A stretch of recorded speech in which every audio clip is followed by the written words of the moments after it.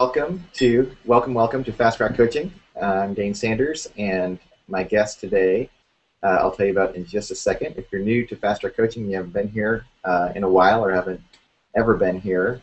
Normally, this conversation is really just an excuse for me to turn the camera on when I have a chance to talk with really cool people, and we end up often talking about things like creativity and business and moving things forward.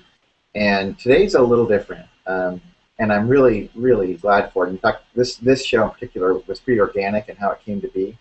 Um, my friend uh, uh, Jeremy Cowart is is my guest today, and Jeremy's been on the show before, and we've had those kinds of conversations around creativity and business and all that sort of thing.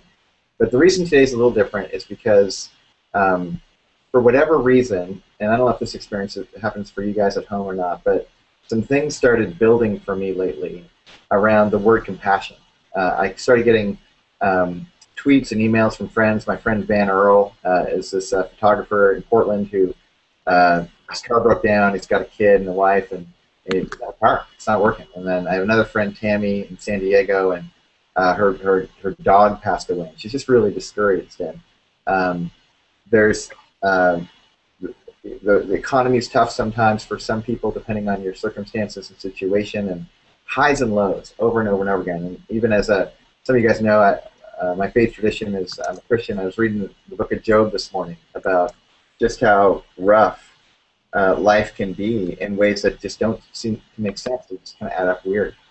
And I've been reflecting on like, are there any antidotes to that when circumstances don't go your way? Are there ways to be to respond in, in a way that could really serve you and serve others simultaneously? And the guy I thought of right away is Jeremy Cowart. So before I say too much more, Jeremy, welcome to the show. Thank you. Thanks for having me. Yeah, man. Really glad you're here. Um, and th- this is perfect, I think, given this idea of compassion, because that's that's the big idea: is thankfulness and compassion as the antidote to um, circumstances that aren't going your way.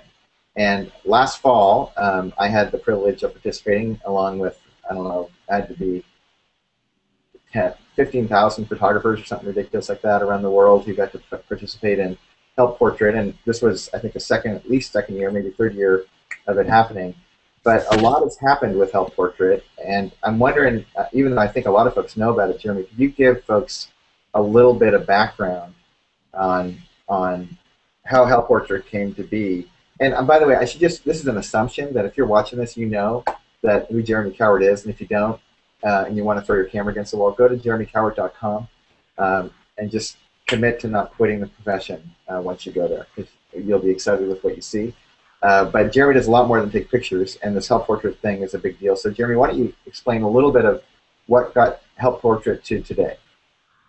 Yeah, well, essentially, uh, it was an idea I had in 2008 to uh, give portraits to people in need. So I rallied some photographers together in Nashville, and we did an event for uh, you know local homeless shelter, and uh, the event was just so amazing, and it was so good to to be with these kids and these families who'd never had their pictures taken. Um, so afterwards, I'm, I made a uh, we made a video of the day and put it on Facebook, and was really overwhelmed by how many other photographers said, "Hey, if you ever do this again, I'd love to be a part." And that moment on Facebook is when I knew that this really could be a much bigger deal. And so 2009 uh, we put the idea out there on Scott Kelby's blog for photographers worldwide to participate. And essentially, it was just an idea. Um, it wasn't even a, a nonprofit or anything official like that. But uh, uh, you guys, the photographers around the world, responded, and uh, people just took it and made it their own. And uh, to date, we've just it's just been a huge, huge uh, movement. Um, I think we've done you know portraits in 60 something countries in every American state, and you know, um, and so I don't say that to brag because it's really not about numbers. It's just about um, uh, photographers coming together, rallying together, uh, building that community, and giving portraits to people who've never had those opportunities. And uh, I'd love to get into that in a few minutes on why it matters and what's important about it. But um, anyway, that's kind of the uh, that's kind of the backstory.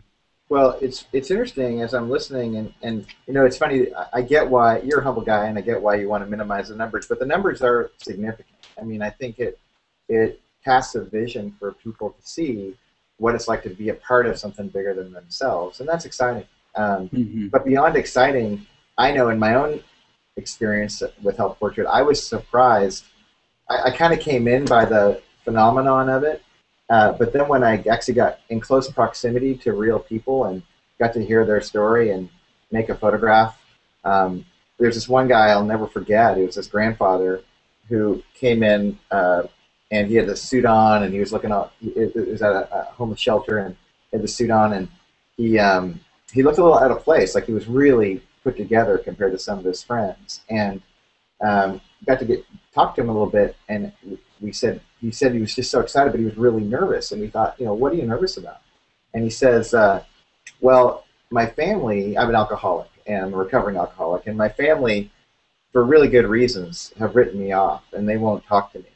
But when I heard about this, I thought this might be my one chance to get my picture taken and have show them tangibly without me bugging them that uh, I've turned my life around. I've been clean for a year, and, wow. and uh, I, I, so that's what this portrait is. And I mean, my, I'm like, are you kidding me? Like, what a privilege to enter into a conversation like that. And what I was surprised by was, okay, cool, I get to kind of play a really neat role in a moment, but I think I was more impacted than this guy was. Like, mm-hmm. obviously, he was in the thick of it, but I was just like just by bearing witness to what was going on and having the privilege to be behind the camera, I was amazed how much that narrative just imp- still today, like it impacts me. I think about it regularly, and I'm guessing you've heard beyond the numbers, you've heard stories like this over and over again. Are, first of all, is that resonant? And number two, what are some other stories that you've heard that that strike you as significant?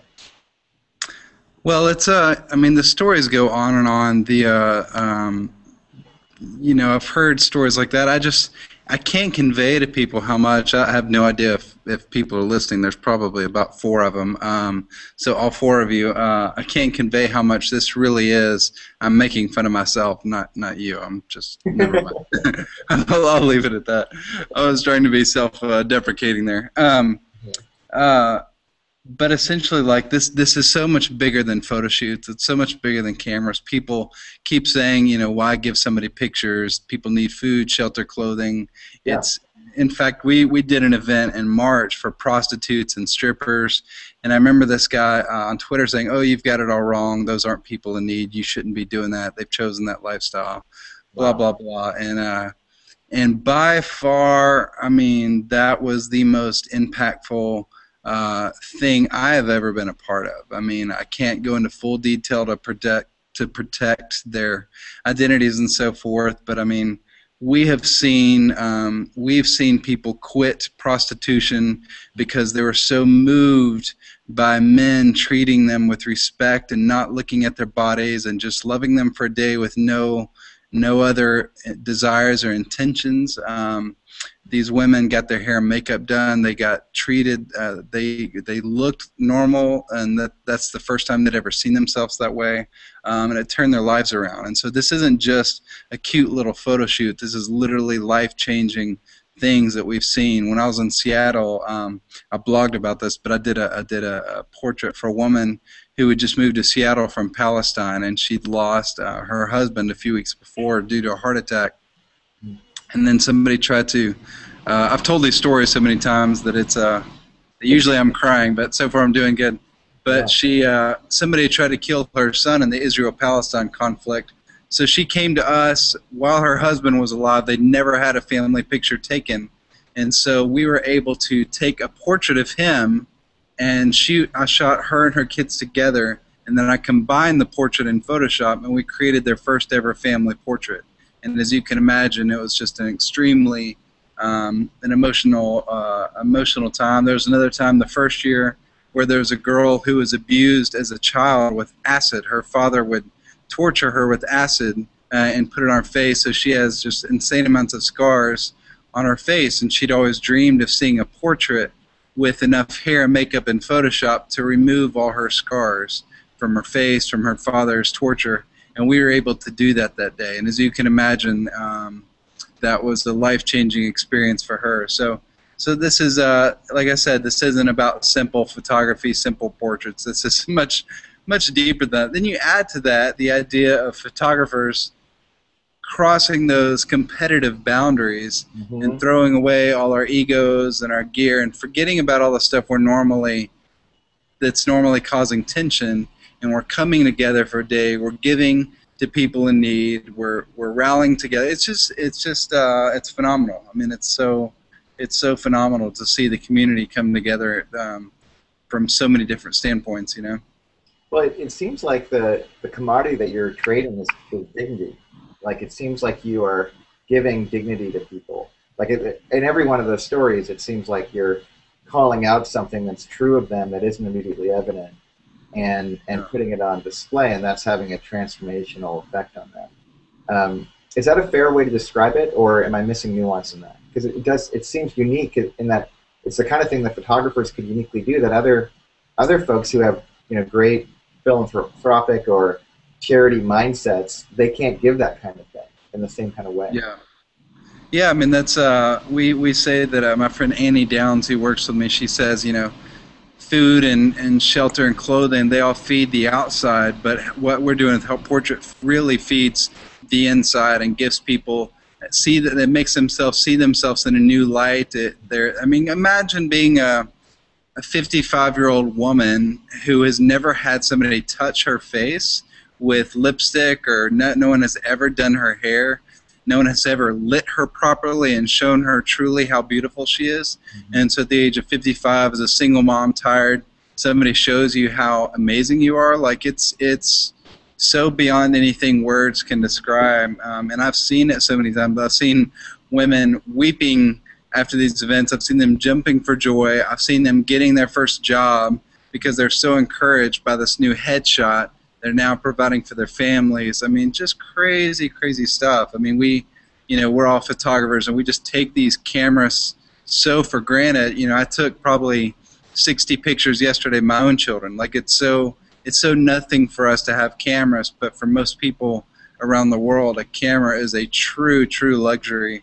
Um, so to be able to rally together and give that luxury to people who've never had it um, is so much bigger than you know any of us could really imagine. Yeah.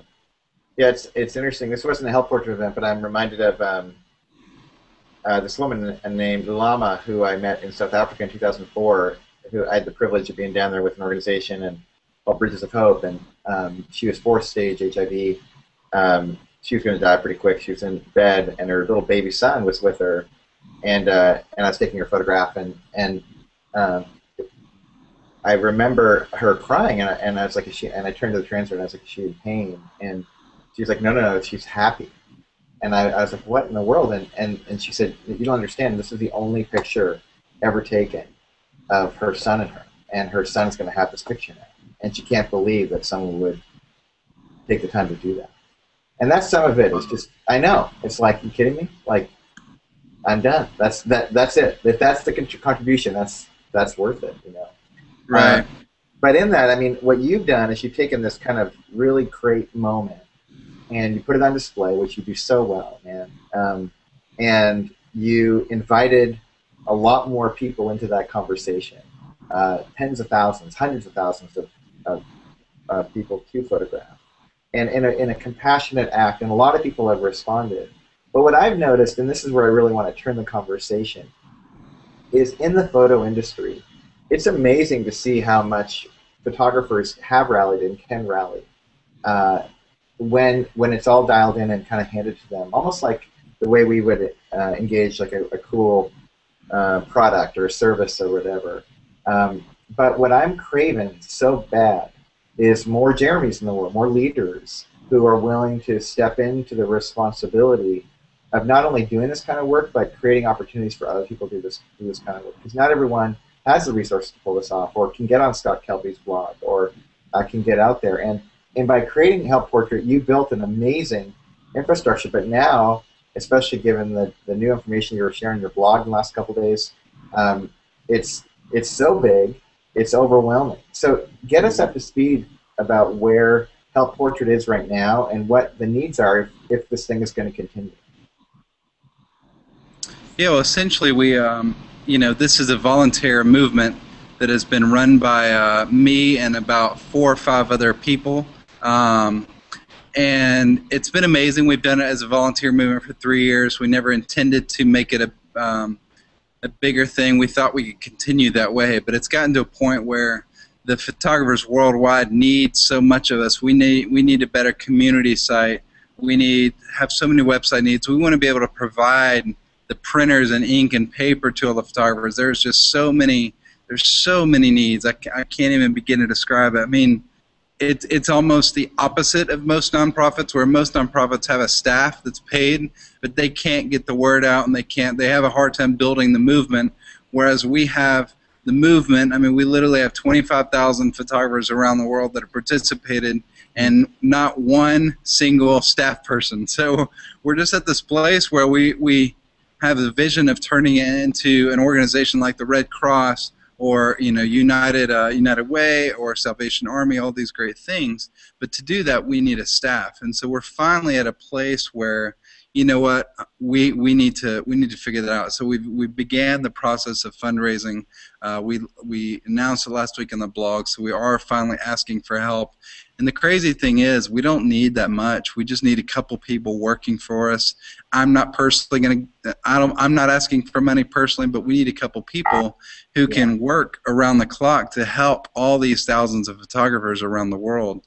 And so uh, we have some other exciting stuff happen, but we're starting with the simple ask of our community. Because you look at. Uh, you know my my Twitter followers and the help portrait side. If everybody gave two dollars, we would meet our goals, you know. And so, two dollars is a pretty simple ask. It's not like we're asking for anything crazy. And so, um, and so, yeah, essentially, we we figured out that it actually takes about ten dollars to provide a portrait in need when it comes down to the computers, the cameras, the hard drives, the printers, all that stuff.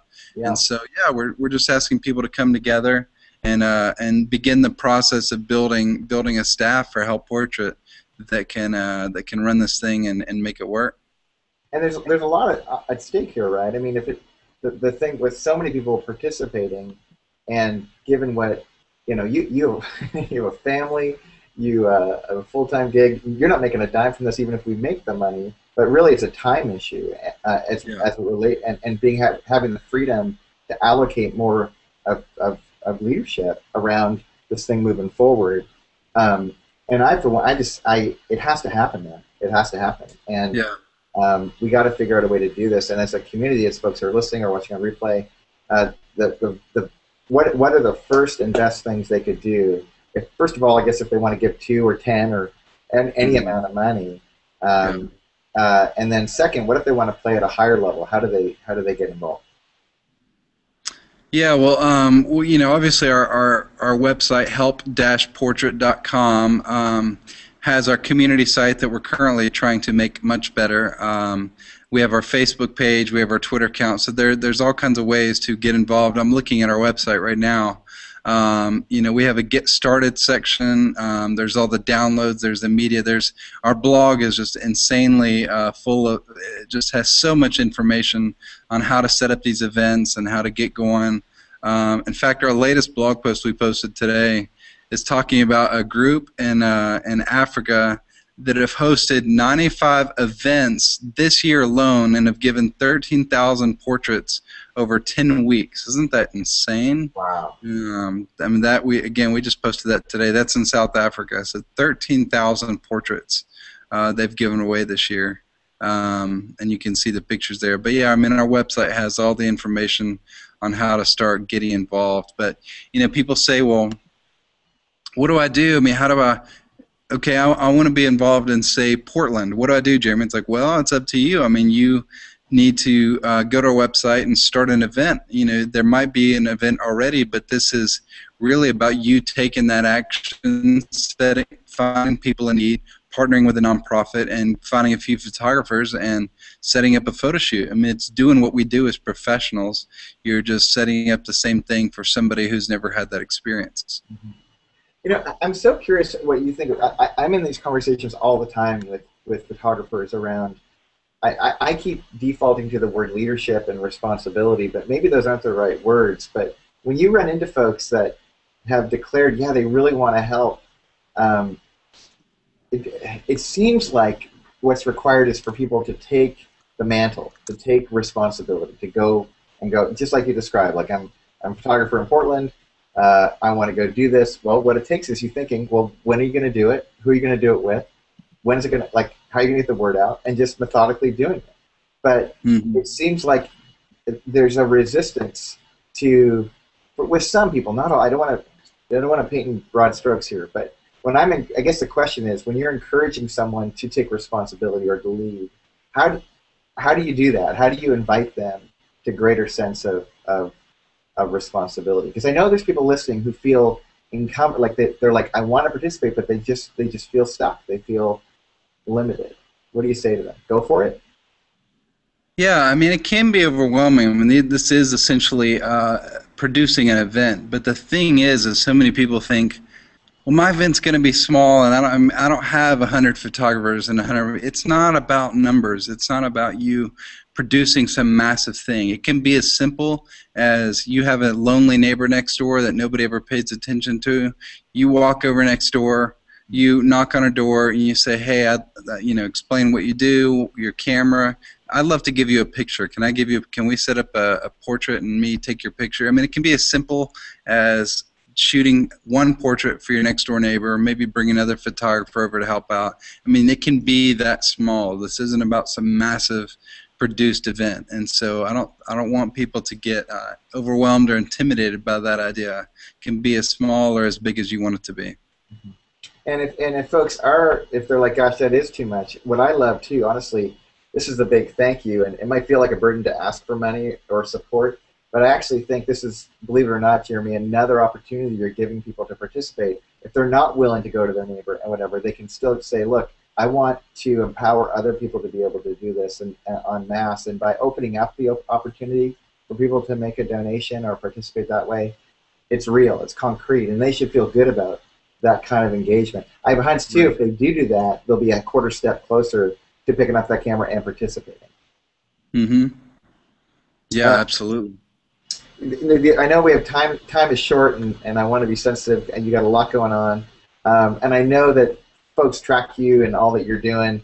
Um, there's there's a big thing that we're not going to talk about that has that for a tease of what you're in the middle of that is really exciting that I'm thrilled about. Uh, there's also a, a littler thing, but is is way cool, uh, which uh, is your that iPhone app thing. And I know I'm switching gears pretty quick, but I want to make sure we have a chance to to to talk a little bit about it. What is this crazy thing that you're building?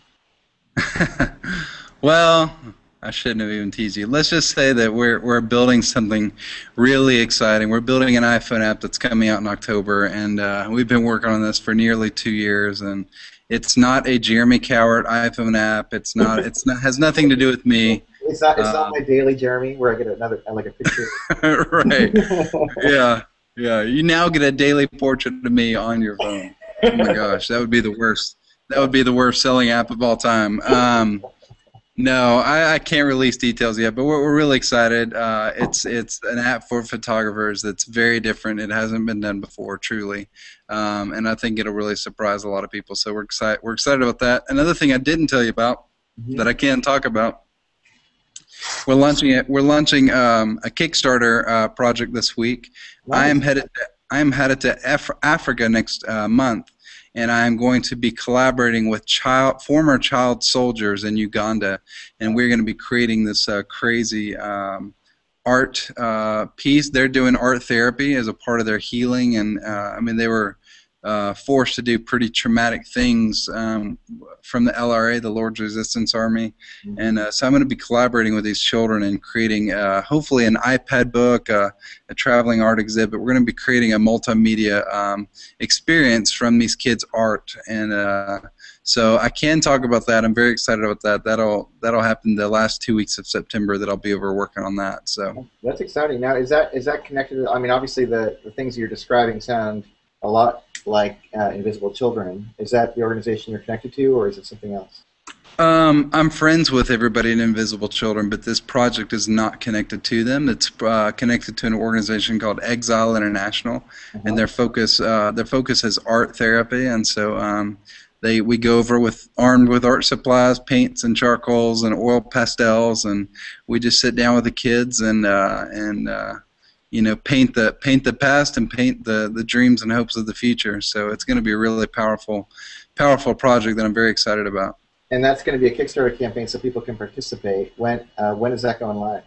That should go live hopefully tomorrow, actually. Cool. Yeah. Man, I'm so stoked on the Kickstarter. Uh, I've I've backed a couple projects recently, and and uh, I can't. It's just so fun to participate like that on a global level, and to, to Yeah. the idea of of um, yeah, just if you, if you, if I don't get to go to Africa, I get to support it. I, I can't wait. Please send me the link personally. I want to participate. I want to back it. So, and, Yeah. a lot of other folks will too. Um, Absolutely. uh, dude, do you sleep? Do you like? It's it's funny to me how much, I you're you're so active as a professional shooter. Um, you're doing so much work. I don't know how in the world do you find the margin to go and and to create a help portrait or to create or to, to be part of a Kickstarter or to make an iPhone app. Like seriously, how how are you able to to spread that, uh, spread your resources as far as you have?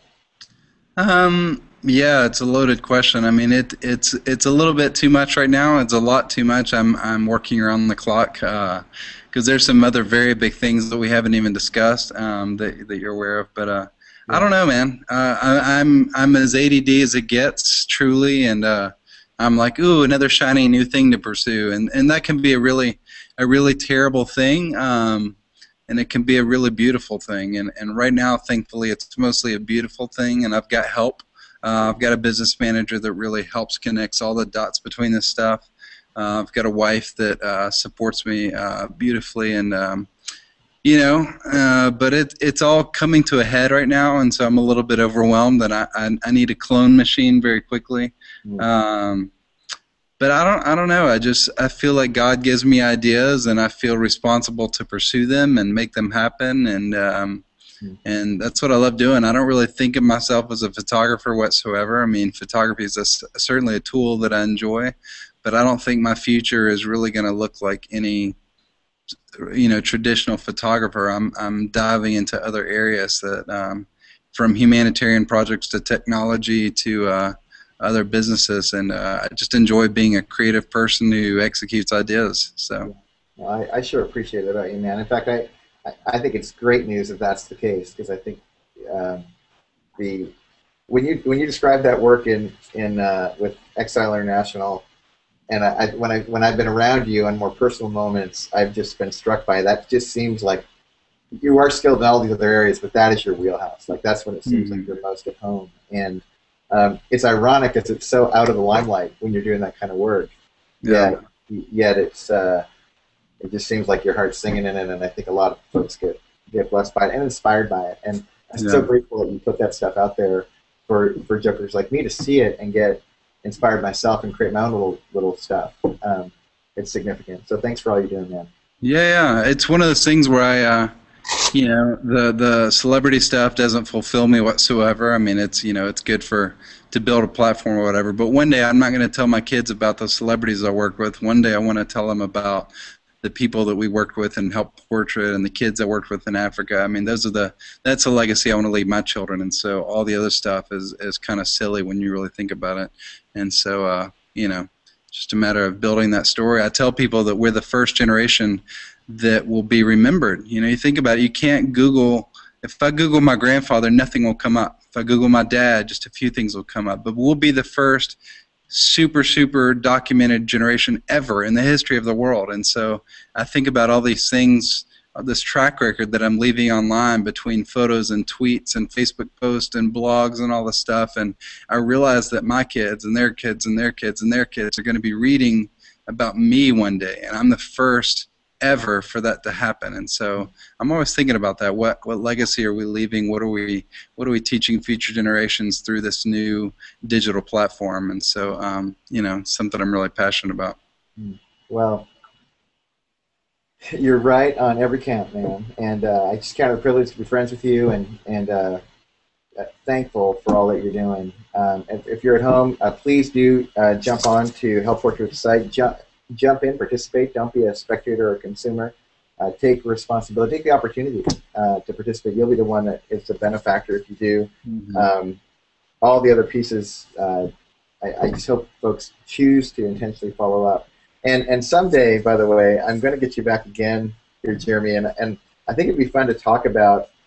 Uh, definitely not today because we're both overwhelmed. But um, building building a support system that enables you to fulfill what you're called to do. Uh, and uh, as someone who's just you know a friend in the hallway uh, with you, um, if there's ever anything I could ever do, and I know I'm speaking for a lot of people, we want to actively engage, and it begins concretely with things like helping out with Help Portrait and mm-hmm. the other mm-hmm. pieces. And, and uh, you can count on me, man. I'm, I'm excited to be in the crowd.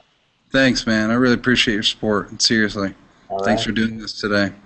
All right. Thanks, everybody. Uh, this will be up on the blog here shortly, and if you watch it live, good for you. And uh, uh, feel free to follow at Jeremy Cowart and uh, reach out that way too if you want. Thanks, Jeremy. All right. Thank you, man. See y'all.